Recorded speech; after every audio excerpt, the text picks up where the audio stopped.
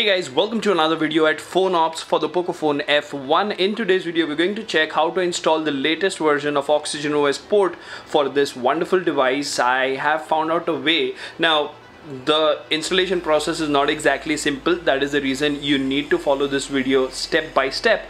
But before we get into all of that, if you haven't already, please subscribe and hit the notification bell icon so that you get notified every time I upload a video. In the description of each video you will find a link to our telegram community where you can join us and support us get to a thousand members. Last but not the least, if you think the hard work is worth the effort, please click on the join button and support the channel. Now without further ado, hello awesome people, welcome to Phone Ops. My name is Kailash. Let's get going.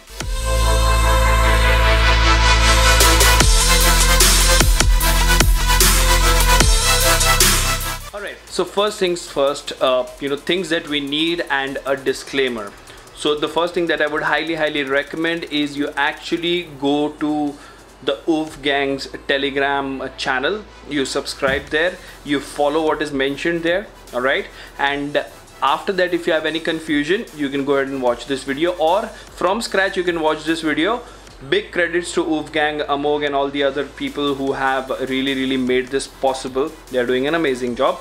So what we need over here. Now the thing is you cannot download this ROM to the computer and transfer it to your phone and flash it. It won't work right and there is a different way to do it if you were to do it through PC but that's a little complicated so we're just gonna skip that part all right now of course you need to have backup of your data on your phone because everything is going to be wiped.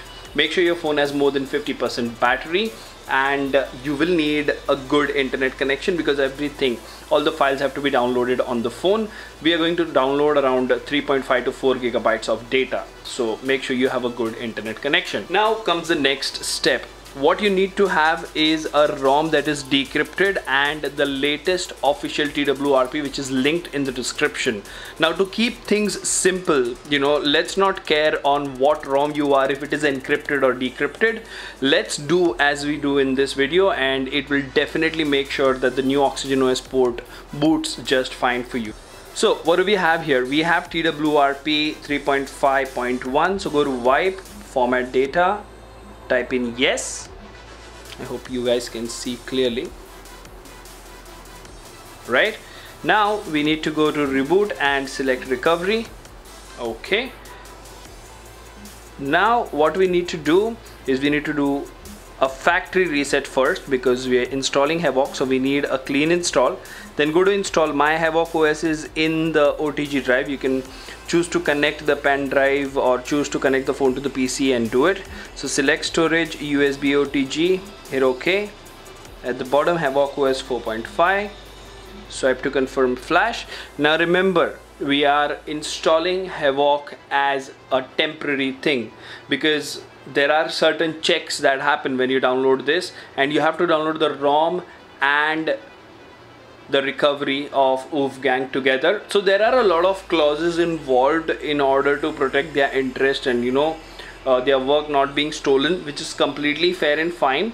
All I'm trying to tell you here is we'll first boot into Havoc OS, we will download the files, then we will continue with the remaining process. Let's wait for Havoc OS to finish installing. Alright, now as you can see Havoc has been installed so let's go ahead and reboot system. The first boot will take anywhere between 2 to 2 to 3 minutes to get into Havoc OS and then we will start the process of downloading the files by installing Chrome APK. Alright, now because this is a vanilla ROM it will you know boot relatively faster which is another good thing it saves us time okay now as you can see we are in Havoc and we don't have GApps because this is a vanilla version. So we will go to files. Okay. And I have kept the Chrome APK in my OTG right? As you can see over here. So quickly go ahead and install the Chrome APK because this is a stage wherein once the browser is installed we will go ahead and open it and we will go to the link and download the files. Right so the first thing that I would like to do here is connect the Wi-Fi because this is a clean flash. So Wi-Fi is not connected. Also remember guys the build address also changes. The build also changes on pling.com on the download link every 6 to 12 hours. So if you've downloaded yesterday after two days you might not be able to flash. I might be wrong here but at least that's how I think it is working for them right? So we have Google Chrome over here. And uh, the link for the download is mentioned in the description. So I'm gonna have to manually type the link over here. So that's relatively easy. That's not a problem. So let's go to pling.com because I don't have telegram installed that is the reason I have to do this. Slash p slash so slash p slash the number is 1533799 1533799 okay and then a forward slash and then hash then files and then hyphen panel p a n e l. Okay let's go. All right so we are here. Okay and you will see that the files are visible over here right? There you go. So first download the recovery. Follow link. Okay download. The recovery download has started. Now download the ROM. Follow link.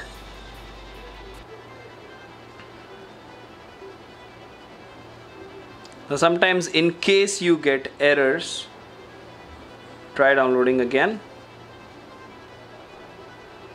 there you go. So the recovery is downloaded and the ROM download has started. Okay? Now there is one more file that we need. That is the firmware file right? Now remember this is the firmware only file. This is not firmware plus vendor. The file which is 94 MB so for that as well I will manually type the link. That's pocovendor.page.link poco vendor dot page dot link slash 9f okay. There you go. It's taking us to pling again. And that's all your firmware files. So the first one is what we are looking for. There you go now as you can see over here the recovery is already downloaded the vendor is almost done and it's downloading the ROM. Now because this ROM is 2.5 gigabytes it will take some time to flash so please be patient while that happens. Alright now as you can see all the files have been downloaded all the three files the firmware the recovery and the ROM. So what we need to do next is we need to boot into TWRP okay so we will restart. Press and hold volume up and power. Till the time you see the POCO logo. Okay. It should boot into TWRP right away. There you go now important part over here to make sure is you are not encrypted. Because if you're encrypted then everything is a mess because then it will not work the install process. So the first thing that you will do over here is you will go to download because that's where your files are. You will install the recovery zip. Now this will automatically boot you into TWRP within 10 seconds. So let's wait for it to boot to TWRP recovery v8 which is mandatory to flash this ROM. Okay now that we have rebooted into TWRP, remember we had Havoc installed, so we will first go to wipe and we will do a wipe data factory reset. Okay, remember not to wipe the internal storage because that is where your files are. So now go to install, go to download and first flash the firmware. Okay. Now the advantage of this setup is you saw that we did everything step by step and nothing got encrypted. Now go to install again and this time flash the ROM. Okay? Now no errors no warnings. It is installing just fine. Now there is one more thing that is the safety net fix in case you're not going to root and you want safety net to be fixed there is a zip linked in the description. You can go ahead and download it flash it. After having the first successful boot flash it from TWRP and you should be good to go. Let's wait for this ROM to install and then we will do the remaining steps. Okay. Now as you can see the installation is complete. So go to wipe format data type in yes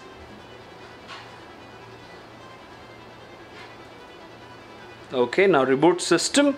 Now the first boot will take anywhere between one to two minutes so please be patient while that happens. All right now as you can see over here we are on the setup screen. I cannot adjust the brightness so please adjust.